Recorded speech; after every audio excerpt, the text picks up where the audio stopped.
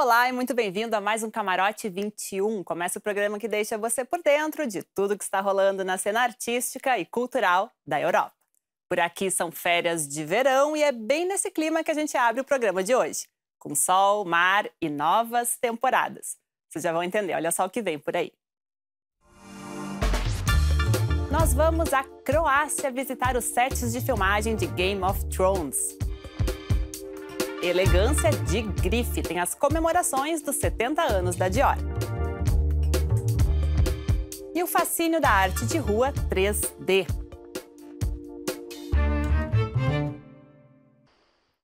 Muito legal visitar um lugar onde a ficção e a realidade se encontram, né? Aliás, o nosso próximo VT também vem nessa vibe meio surreal. Uma pequena cidade no interior da Áustria resolveu transformar o absurdo em atração turística. Em Herrenbaumgarten existe até um museu da insensatez. Confira aí. Bem-vindos ao interior da Áustria. Uma região bucólica, de belos vinhedos e máquinas de lavar roupa? Não, espera. Tem algo estranho por aqui. Ah, claro! Estamos na pequena cidade de Herrenbaumgarten, a capital austríaca do absurdo. Uma cidade tão fora da curva que conta com um museu da insensatez, o Nonseum. Nele, um acervo de invenções malucas faz a alegria dos turistas, como este prato de sopa. Se você já estiver satisfeito, pode escorrer as sobras pelo ralo. O mais legal é poder fazer as pessoas rirem. Elas sempre saem da exposição com um sorriso no rosto. Para os preguiçosos, há um limpador de nariz automático, por exemplo. Apenas uma das muitas criações do artista Fritz Gall. Nós mesmos que construímos nossas invenções. É muito divertido brincar com o irracional. Temos mais de 450 objetos expostos aqui. A capital do absurdo, como tal, surgiu em 1994 e hoje atrai mais de 10 mil visitantes todos os anos. Eu não sei de onde tiraram essa ideia, mas é simplesmente genial. Aqui está cheio de coisas das quais você não precisa. Herrenbaumgarten, a cidade austríaca que transformou o improvável em marca registrada. E talvez seja o efeito do vinho. Mas após um dia por aqui, até parece que esse absurdo todo começa a fazer algum sentido.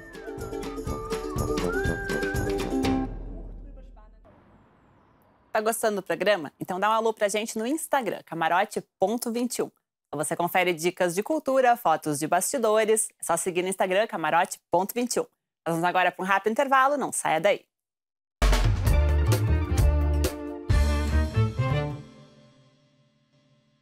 Bem-vindos de volta ao Camarote 21 aqui nos estúdios da DW, na Alemanha.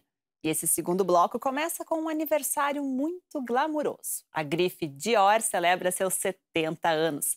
Uma história que começou no pós-guerra e segue até hoje, transformando a alta costura.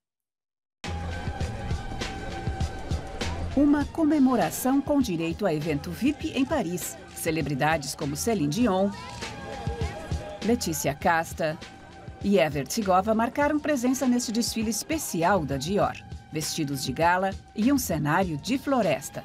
É assim que a marca se apresenta sob o comando da primeira diretora criativa, 70 anos após a estreia do fundador da empresa, Christian Dior.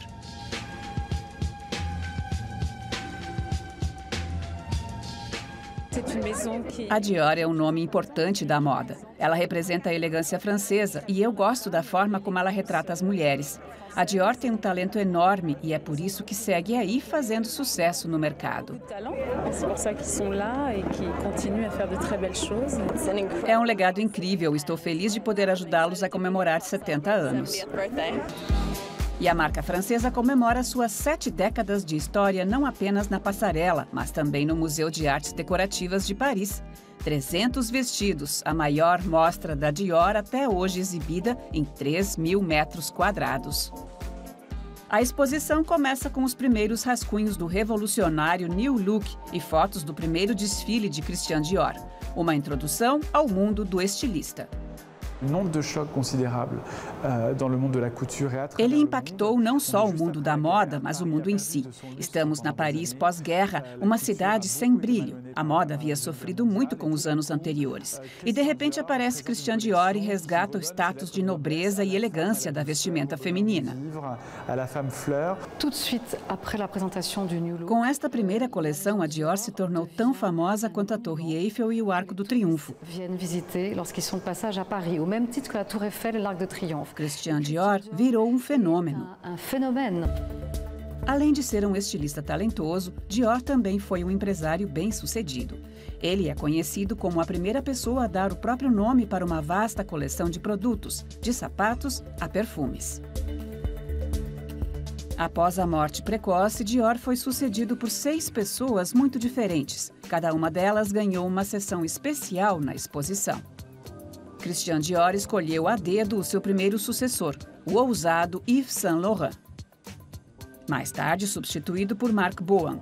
Mais convencional, ele administrou a marca por 28 anos. Depois veio o extravagante italiano Gianfranco Ferrer. Em seguida, o punk fashion John Galliano, demitido após um escândalo. Na sequência, o minimalista belga Raf Simons. E finalmente a primeira mulher no comando, Maria Grácia Curie. A Dior sempre encontrou ressonância entre celebridades, o que contribuiu para a fama da grife. A popstar Rihanna, por exemplo, usou este vestido no Festival de Cannes deste ano. E no histórico da marca também estão criações para nomes como Lady Di e Elizabeth Taylor. Christian Dior avait l'habitude d'appeler son bureau, uh, son studio. Christian Dior chamava o seu escritório em Paris de escritório dos sonhos. Ele e seus sócios queriam que os sonhos de Dior se transformassem em alta costura, que seria vestida por celebridades. Couture et ensuite dans des silhouettes et associée à des grandes personnalités. Na exposição, os visitantes podem vivenciar este mundo dos sonhos, que, sob o comando de Maria Curie, ficou mais próximo da realidade. Apesar de ser alta costura, as modelos da Dior agora usam sapatos baixos. Tudo faz parte da estratégia.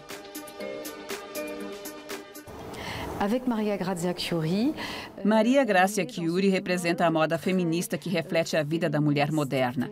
Ela cria roupas que podem ser usadas durante o dia ou à noite, com salto alto ou com tênis. Roupas que são confortáveis. Ela vive a própria moda e cria o design com base em experiências pessoais. Euh, euh, a partir de sua própria experiência do vêtement. Após sete décadas de história, a Dior segue se reinventando e traduzindo ideais em ícones de elegância. De tirar o chapéu, né? E para encerrar o programa de hoje, no clima de férias de verão europeu, o Camarote 21 dá um último pulo na Holanda. Até o dia 3 de setembro, a cidade de Arnhem cedia o Festival Mundial de Arte de Rua. Entre os destaques da programação estão as pinturas 3D do holandês Leon Kier. Arte que surpreende, que confunde, que brinca com a nossa percepção. Estas obras são do artista holandês Leon Kier. O trabalho dele é mais baseado em regras da matemática do que em técnicas artísticas.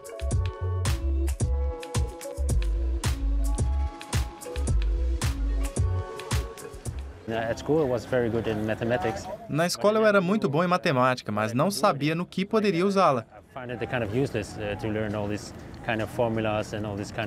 Eu achava sem sentido ter que aprender todas aquelas fórmulas e técnicas matemáticas, mas agora com o meu trabalho vejo como elas são necessárias. Além da matemática, o artista usa programas de computador para projetar as obras. Digitalmente, ele joga com a perspectiva das imagens bidimensionais para depois, no espaço físico, fazer a obra 3D. Em um de seus trabalhos mais recentes, ele desenhou três meninas em uma paisagem de gelo derretendo. Para o observador, o efeito 3D só funciona a partir de um ponto específico. Caso contrário, a imagem fica distorcida. A parte mais desafiadora é converter um desenho bidimensional numa imagem 3D distorcida, porque ela tem que ficar bem distorcida. No começo, quando você está próximo do ponto de visão do observador, é ok. Mas à medida que você vai para as extremidades do desenho e se afasta deste ponto, tem que distorcer a imagem ainda mais.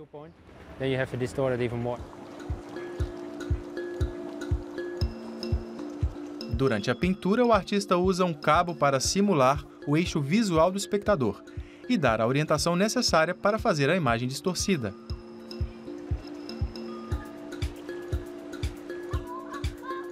Para que as obras durem bastante, o artista usa tinta acrílica em vez de giz.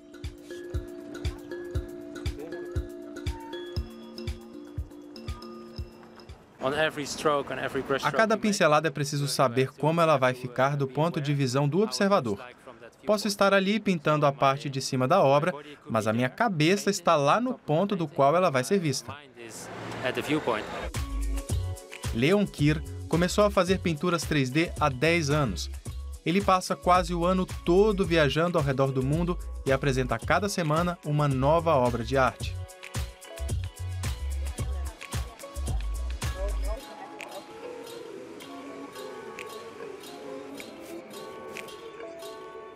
Como no festival World Street Painting, na cidade holandesa de Amhen, que reúne obras tridimensionais de artistas de todo o mundo.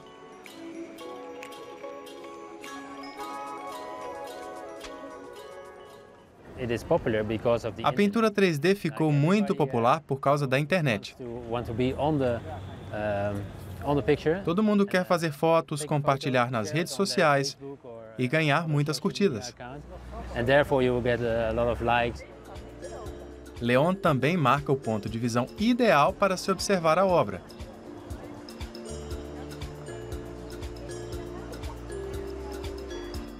Bom, mas o que a maioria das pessoas quer mesmo é interagir com elas e posar para fotos. É realmente uma arte de rua incrível. Parece tão real quando você se posiciona no ponto exato, parece de verdade. O festival na Holanda acontece até o dia 3 de setembro. Depois disso, as pinturas desaparecem do espaço urbano.